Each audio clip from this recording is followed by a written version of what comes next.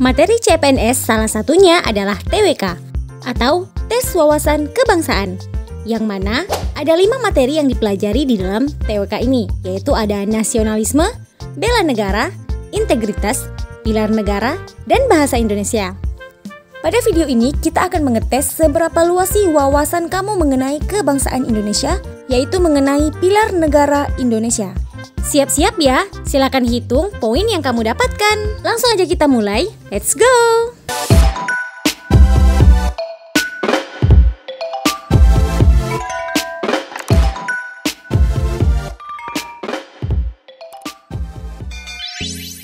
Soal nomor 1 dalam Undang-Undang Dasar 1945 disebutkan beberapa prinsip sistem pemerintahan negara. Nah, berikut ini yang bukan termasuk prinsip negara adalah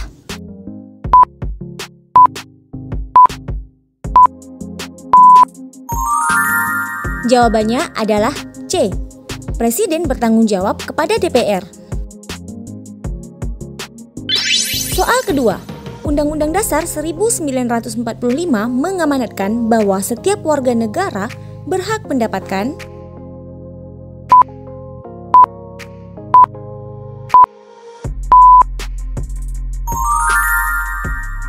Jawabannya adalah C. Warga negara berhak mendapatkan pendidikan yang layak. Nomor 3. Dalam sistem presidensil, Pemberian gerasi oleh presiden harus mempertimbangkan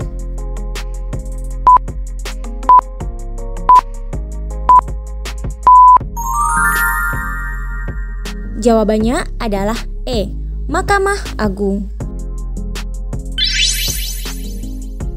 Soal keempat, mengutamakan musyawarah untuk mencapai mufakat dalam pengambilan keputusan bersama adalah penerapan dari Pancasila terutama pada sila.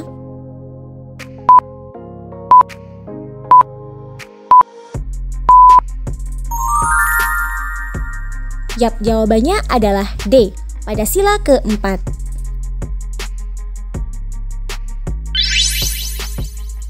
Soal kelima, nilai-nilai Pancasila sudah ada dalam kehidupan masyarakat Indonesia sejak zaman dahulu dan terakumulasi di dalam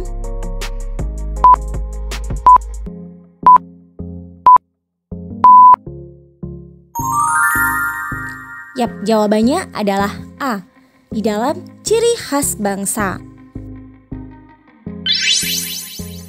Soal ke-6. Undang-Undang Dasar 1945 merupakan konstitusi negara Indonesia yang perencanaannya dilakukan sejak masa kependudukan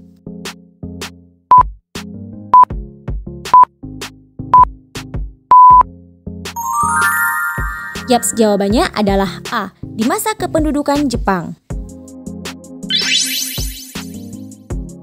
Soal selanjutnya, yang ketujuh. Bentuk nilai instrumental Pancasila di bidang hukum adalah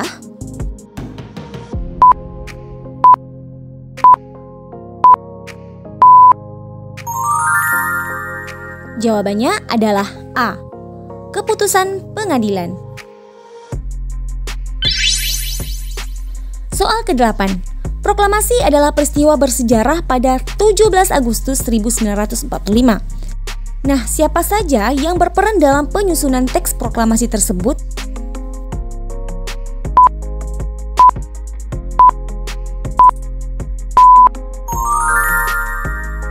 Yap, jawabannya adalah D. Soekarno, Hatta, dan Ahmad Subarjo. Soal selanjutnya yang kesembilan, tokoh-tokoh berikut yang berperan dalam sidang BPUPKI pada tanggal 29 Mei sampai 1 Juni 1945 adalah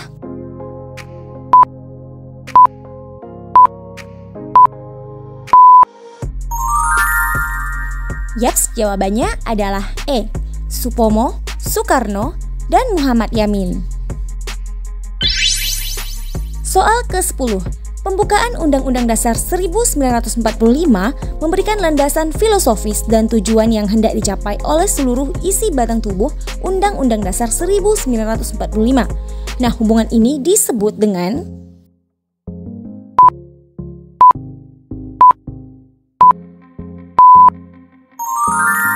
Yap, jawabannya adalah D. Material. Soal ke-11.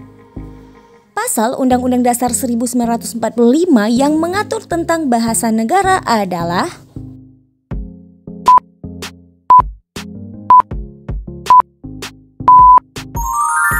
Jawabannya adalah B. Pasal ke-36. Selanjutnya nomor 12. Presiden dapat memberikan abolisi atas pertimbangan dari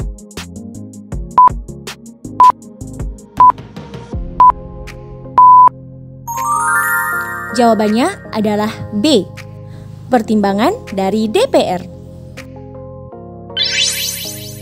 Selanjutnya soal ke-13.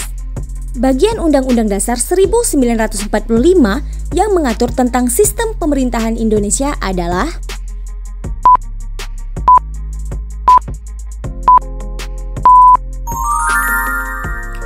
Ya, jawabannya adalah B yang mengatur tentang sistem pemerintahan Indonesia ada di bab 2. Selanjutnya nomor 14. Komnas HAM dibentuk berdasarkan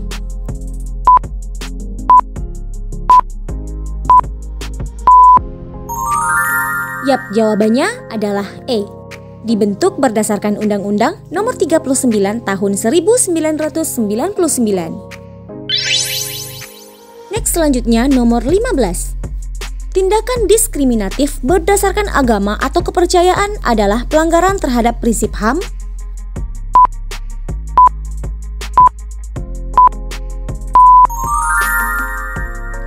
Yap, jawabannya adalah B.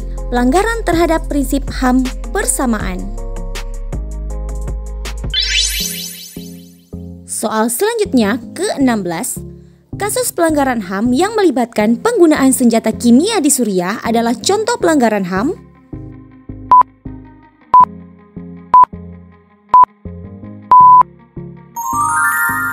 Yap, jawabannya adalah D. Pelanggaran HAM hak hidup. 17. Bagaimana korupsi dapat menghambat pencapaian tujuan sila ketiga Pancasila?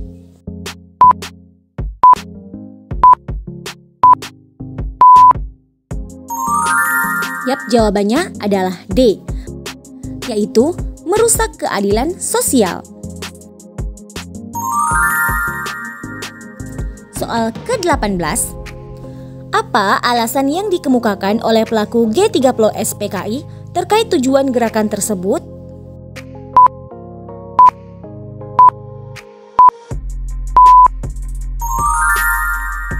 Yaps, jawabannya adalah C. Tujuan dari G30 SPKI adalah penangkapan para jenderal. Nah, soal ke-19, organisasi anti korupsi yang dibentuk berdasarkan Undang-Undang Nomor 30 Tahun 2002 adalah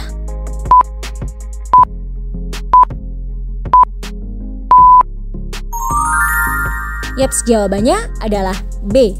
Organisasi KPK. Soal ke-20. Apa yang menjadi fungsi DPR terkait dengan pengawasan terhadap pemerintah menurut Undang-Undang Dasar 1945?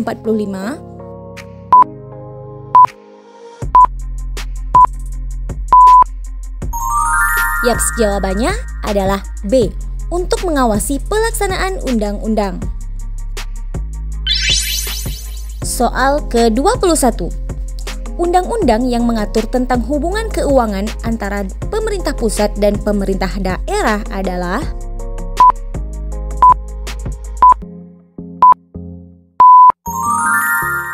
Yaps, jawabannya adalah B, yaitu Undang-Undang Nomor 33 Tahun 2004. Soal ke-22, keseimbangan hak dan kewajiban yang dijamin oleh Undang-Undang Dasar 1945 dapat mencegah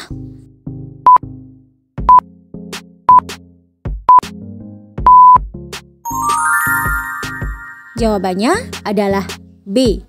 Mencegah ketidakadilan sosial. Soal ke-23 Landasan operasional dalam pelaksanaan administrasi negara Indonesia adalah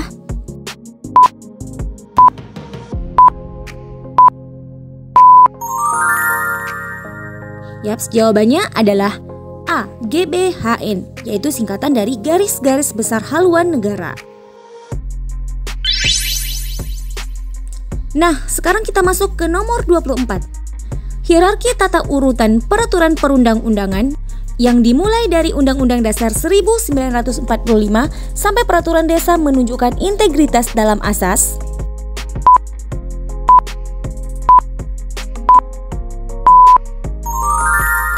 Yaps, jawabannya adalah E. Asas akuntabilitas. Soal ke nomor 25, siapa yang pertama kali menggunakan konsep dari Bhinneka Tunggal Ika?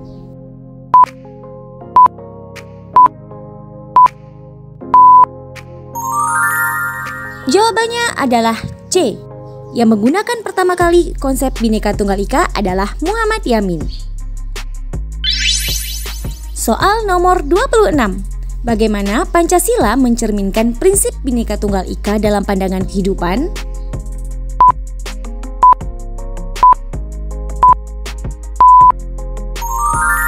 Yaps, jawabannya adalah C.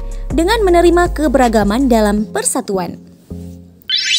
Soal selanjutnya nomor 27. Apa perbedaan antara demokrasi parlementer dengan presidensil?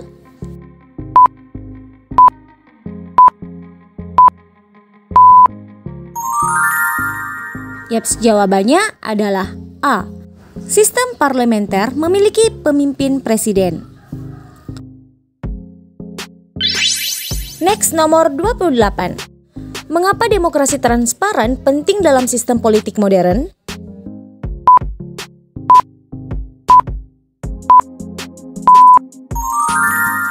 Yaps, jawabannya adalah C. Karena meningkatkan akuntabilitas publik. Next nomor 29. Apa peran check and balances dalam struktur organisasi?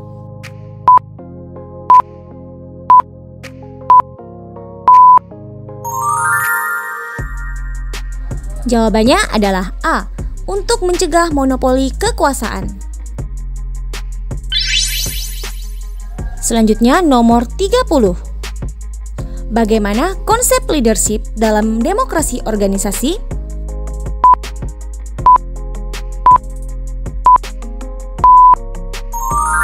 Jawabannya adalah B, yaitu kepemimpinan kolektif. Bagaimana hasilnya? Coba kamu hitung, jika satu nomor bernilai 10 poin, berapa poin yang kamu dapatkan? Silahkan tulis di kolom komentar. Nah, jika poin kamu di bawah 100, maka kamu harus perbanyak literasi kembali mengenai wawasan kebangsaan Indonesia. Nah, jika poin kamu di angka kurang dari 200, wawasan kamu sudah cukup baik. Nah, jika poin kamu di atas 200, wawasan kamu sudah baik. Tapi, berapapun poin yang kamu dapatkan, terus belajar dan perbanyak literasi ya guys, agar mendapatkan hasil yang lebih maksimal. Nah, semoga video ini bermanfaat. Assalamualaikum warahmatullahi wabarakatuh.